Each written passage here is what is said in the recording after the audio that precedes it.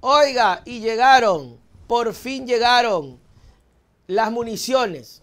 Los chalecos todavía no, pero dice el señor Zapata que es un avance, que ya no sean, que ya no sean cargosos, que están haciendo su mejor esfuerzo. Ay, Dios mío, lindo. Eh, una vez que este jueves 15 de junio llegó el primer cargamento de eh, municiones, 24 millones de municiones para cerca de 60 mil policías, el lunes 19 de junio empezará el proceso de reentrenamiento. Qué bien, qué bueno, para que no se nos diga que solamente estamos en la criticadera. 24 millones, que es hartísimo, 24 millones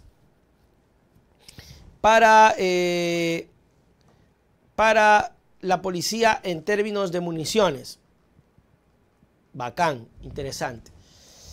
El Ministerio del Interior informó que el cargamento procedente de Estados Unidos es parte del plan que cumple el gobierno para fortalecer la seguridad de los ecuatorianos frente al crimen organizado, el narcotráfico y la delincuencia común. Totalmente.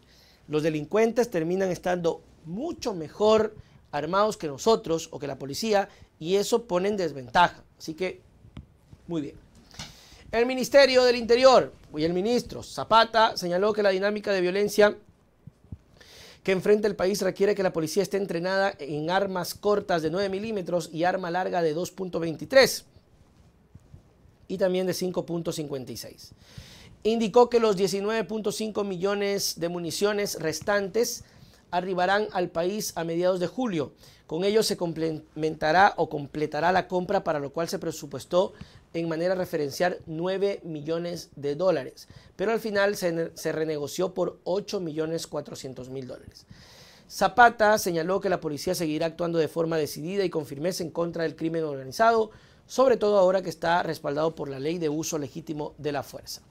Ante amenazas letales, respuestas letales. Sí, pero cuidado, ¿ah? Que lo que pasó con la RC, eso no era letal. Y lanzaron bomba lacrimógena porque dijeron uso progresivo de la fuerza. Yo estoy de acuerdo. Yo siempre voy a estar de acuerdo. No es posible que la policía sea, tenga que ahuevarse frente a delincuentes. Eso no. La policía tiene que ser decidida. Está muy bien que la ley los respalde. Excelente. Deberían tener mejor pago. Por supuesto. Deberían tener mejores, mejor trato. Por supuesto. Pero eso es otro tema. Pero cuidado, pues. Ah, los de la RC, manifestación, los indígenas. Ah, métele palo, métele gas, métele bala. Cuidadito. Ay, no, es que me vio con mala cara, por eso le tiramos gas lacrimógeno. En tanto, el comandante general de la policía, Manuel Íñiguez, manifestó que el país, en el país se capacitará cerca de 60 mil policías, incluidos los que se graduaron en este mes, con el fin de fortalecer sus capacidades.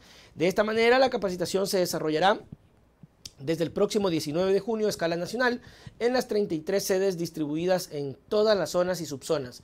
Serán 75 instructores de tiro práctico policial quienes impartirán su conocimiento en combate cercano, incursiones y abordaje de vehículos. Todavía no llegan los chalecos, pero no perdamos la fe y la esperanza. Han llegado las balas. Pronto llegarán los chalecos. Todavía los chalecos no llegan. Pero no perdamos la fe. Y qué bueno que se entrenen porque ya vimos cómo la policía eh, terminó a veces disparándose entre ellos por la falta de eh, entrenamiento. ¿Ok? Perfecto. Bien, muy bien, muy bien. Para que no digan, bien, porque esto de acá no es por ustedes, por si acaso. ¿no? es por el gobierno, no es por el señor Zapata ni por Lazo, es por la gente. Así que muy bien. Se acabó.